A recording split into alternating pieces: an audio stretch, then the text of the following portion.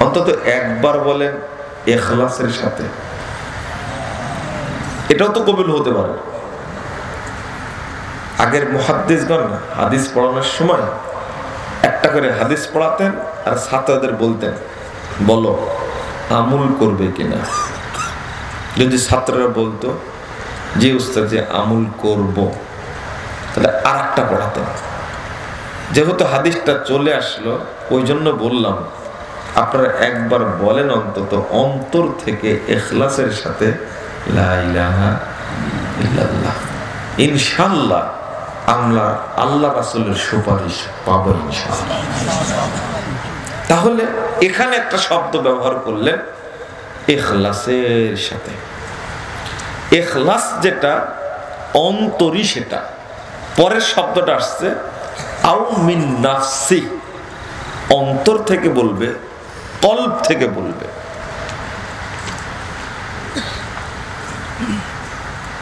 একত্রিশ নম্বর হাদিস সহি মুসলিমের মধ্যে এসেছে। ভারী লাগছে কি আলোচনা? বুঝে যাচ্ছে? বলছেন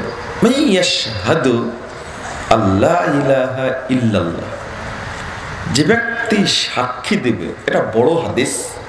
যে ব্যক্তি সাক্ষী দিবে এই মর্মে যে আল্লাহ ছাড়া প্রকৃত কোনো মাহবুদ নেই। তবে শর্ত হলো, মুস্তাইকিনান বিহা অন্তরে দৃঢ়তা নিয়ে বলবে। অন্তরে দৃঢ়তা নিয়ে। মানে সাথে বলবে, লা ইলাহা ইল্লাল্লাহ, দাখালাল জান্নাহ। সে জান্নাত প্রবেশ করবে। শর্ত হলো এখলাস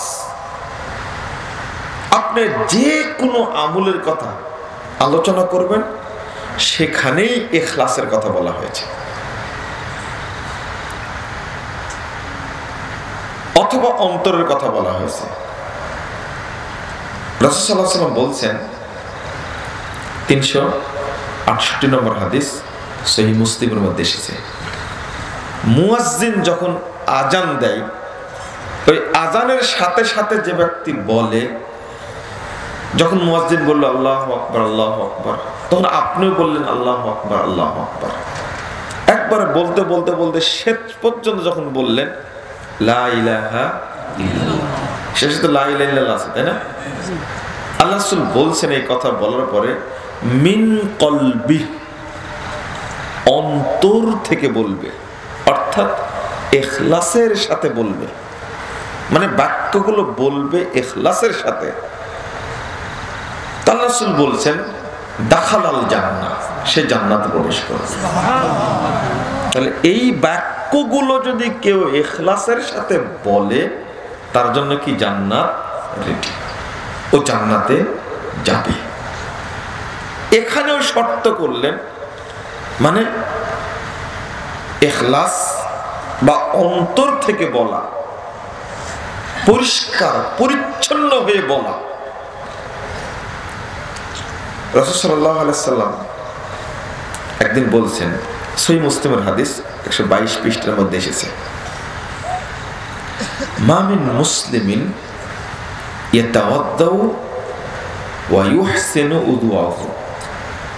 যে ব্যক্তি সুন্দর করে অজু করবে। মুসলিম নারী, পুরুষ যেই হোক, সুন্দর করে অজু করবে।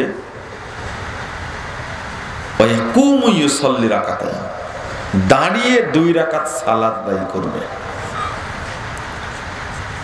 তো শর্ত করলেন, মুকবিলুন আলাইহিমা বি ওয়াজিহিহি ওয়া শর্ত হলো দুই রাকাত পড়বে একমাত্র আল্লাহকে খুশি করার জন্য অন্তর থেকে করবে।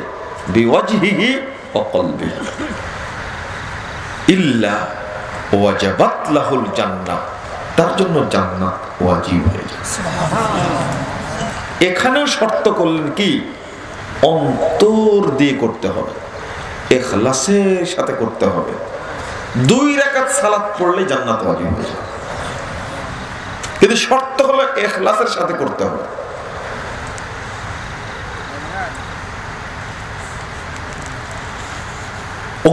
আমর বলছেন যে আমি ছাগল চড়াচ্ছিলাম। এই হাদিসটা হঠাৎ করে ওই অবস্থা থেকে রাসুলের কাছে আসলাম। এসে দেখছি আল্লাহ রাসুল এই হাদিসটা বলছেন। তখন আমি বললাম মাশাল্লাহ কি চমৎকার হাদিস, কি চমৎকার হাদিস। মাত্র দুই রাকাত সালাত অন্তরের সাথে করলে জান্নাত হবে। কি চমৎকার হাদিস। তখন উমর রাজাল বলছেন, এর আগে যেটা বলেছে সেটা কি শুনেছেন? এর আগেরটা আরও চমৎকার। বুঝেননি কথা? একটা হাদিসের ঘটনা। সাহাবাকেরাম কত সুন্দরভাবে হাদিস মুখস্থ রাখতেন। দেখেন, তখন উমর রাজ্জাল্লা বলছেন ওব্বা তুমি তো এই কথাটা শুনেই তুমি বলছো এত চমৎকার। কিন্তু এর আগে যেটা বলে ফেলেছেন, ওটা তুমি শুনোইনি। ওটা শুনবেন? ওটা শুনবেন? তখন উব্বা বলছেন, তাহলে শোনান আপনি আগেরটা কি বলেছেন। বলছে আরেকটা আরও চমৎকার। যে ব্যক্তি অজু করার পরে শুধু বলবে আসাদু আল্লাহ ইল্লাল্লাহ, ওয়াহদাহু লা আশহাদু আন্না আবদুহু রাসূলুহু। করার পরে যদি কেউ এই দোয়া পড়ে আল্লাহ রাসূল আগেই বলে দিলেন ফুতিহাত লাহু আবওয়াবুল জান্নাতি সামানিয়া ইয়াদখুলু মিন আইয়িহা শা তার জন্য জান্নাতের আটটি দরজা অটো খুলে দেওয়া হবে যে কোনো দরজা দিয়ে জান্নাতে প্রবেশ করতে হবে আগেরটা চেয়ে ভালো না। মানে ওখানে তো অজু করে দুই রাখা সালাদ পড়তে হবে। তাও শর্ত করেছেন, পড়ার সময় যেন দোকানে মনোযোগ না যায়, বাজারে যেন মন না যায়। শর্ত করেছেন একমাত্র কার সাথে? আল্লাহর সাথে। একজন ব্যক্তি আমাকে বলছেন যে, বহুদিন থেকে আমলটা করি, এক রাকাত পড়ার পরে দ্বিতীয় রাকাত আর পড়তে পারি না। মানে এক রাকাতের মধ্যে ব্যবসার কথা আসে।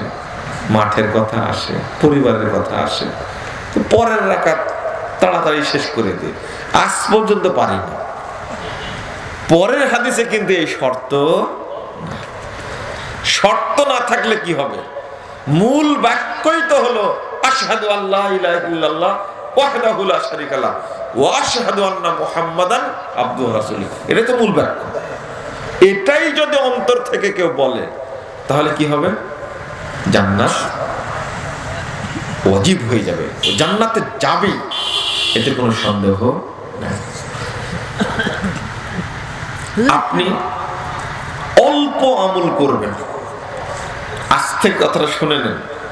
অল্প আমল করবেন, কিন্তু আমুলটা যেন হয় এখলাসের সাথে। তাহলে অল্প আমুল করলে নেকি অনেক যাবে। আচ্ছা আপনার আমুল বেশি দরকার না নেকি বেশি দরকার? বলেন তো। নেকি বেশি দরকার, তাই না? তাহলে রসুসাল্লাম যেভাবে বলেছেন, সেভাবে করতে হবে না? সেভাবে করতে হবে। কিন্তু এখন নেকি মানুষ করা তো বেশি করার দূরের কথা, আমুল বেশি করার চেষ্টা করছে। কিন্তু ওই আমলে কি নাই? এখলাস এগারো হাজার সাতশো একানব্বই নম্বর হাদিস মুস্তাদা আহমদের মধ্যে এসেছে। দেখেন, সাহাবিরা এখলাস খুঁজতেন। আল্লাহ রসুলকে বলছেন আউসেন রাসুল আল্লাহ একজন সাহাবি বলছেন, আল্লাহ রসুল, আমাকে একটু ওসিয়ত করেন তো। আল্লাহ রসুল বলছেন ওসিকাবি তাকু আল্লাহ আমি তোমাকে আল্লাহ ভীতি অর্জনের ওসিয়ত করছি। কেন?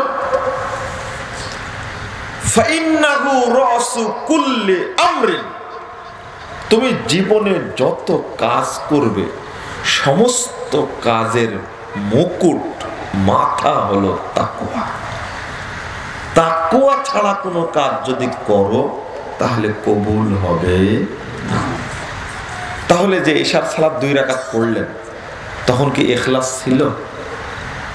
ছিল না। এহসান ছিল? ছিল না। মাথাতেই আসেনি এহসানের কথা। এখলাসের কথা মাথাতেই আসেনি। এখলাস থাকবে কি করে? প্রত্যেকটি কাজে থাকার জন্য শর্ত। আব্দুল ইবনে মুবারক রহিমাহুল্লাহ একজন তাবেই খুব বড় মাপের মহাদ্দিস। তিনি বলছেন, আগে হাদিসটা বলে নি তারপরে কওলটা বলি, ভালো লাগবে। আল্লাহ রাসূল একদিন বলছেন, দুই হাজার আটশো আট নম্বর হাদিস সহি বুখারের মধ্যে এসেছে। উহুদের যুদ্ধের দিনে রাসূল বলছেন, ইন্নি ওয়াজাত্তুল জান্নাতা রাইহাতাল জান্নাহ মিন ওয়ারাই উহুদ। আমি উহুদ পাহাড়ের পাশ থেকে জান্নাতের সুগন্ধি পাচ্ছি। অর্থাৎ জান্নাত এত নিকটে চলে এসেছে, উহুদ যুদ্ধের দিনে আল্লাহ জান্নাতের সুগন্ধি পাচ্ছে তখন একজন মুশরেক বলছে যে, আমি যদি ইসলাম গ্রহণ করি, তাহলে কি জান্নাত পাবো? আল্লাহ বলে যে হ্যাঁ জান্নাত রেডি তোমার জন্য। ও কালেমা পড়ে নিল। আশহাদু আল্লাহ ইল্লাল্লাহ। পড়ে যেহেতু ইসলাম গ্রহণ করেছে, এখন যুদ্ধে সামিল হওয়া কি? ফরজ। যুদ্ধ চলমান। হাতের খেজুরগুলো ফেলে দিলেন। আর মুখে একটা চাবাচ্ছিলেন চিপাচ্ছিলেন। শুকনা খেজুর চিপাতে দেরি হচ্ছে। ওইটাও ফেলে দিলেন। দিয়ে যুদ্ধে অংশগ্রহণ করলেন। একটু পরে শাহাদত বরণ করলেন। আল্লাহ রাসূল তখন বলছেন, আহ, আমিলা কলিলা ও উজিরা কাথিরা আমল করেছে, অল্প একটু নেকি পেয়েছে অনেক বেশি। মানে আল্লাহ রাসূলের কথাটা বিশ্বাস কে মহান কে মহান, কে lo que